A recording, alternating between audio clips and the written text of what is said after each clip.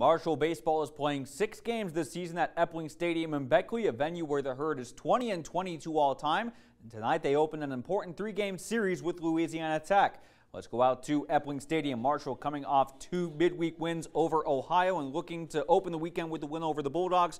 Top of the second, two runners in scoring position for Chris Clayton, who directs a grounder into right field that brings in Mason Robinson for the opening run of the game. And the Bulldogs on the board first, leading 1-0. Later, Hunter Welch with a fly ball to center field deep enough for a sacrifice fly. In comes Taylor Young from third, and the Bulldogs with the early 2-0 lead. Herd looking to answer in the bomb in the second. Peter Hutzel would go deep to right field for a solo home run, putting Marshall on the board. 2-1 Tech after two. Top of the third, Jonathan Parker's grounder finds an opening on the left side, and Cole Warkin scores from third. Bulldogs regain the two-run lead at 3-1, and that would be the start of a two-out rally. Wells with a single to right field. Young scoring his second run of the game as Louisiana Tech wins game one of the weekend series 15 2. This series will continue Saturday and Sunday in Beckley.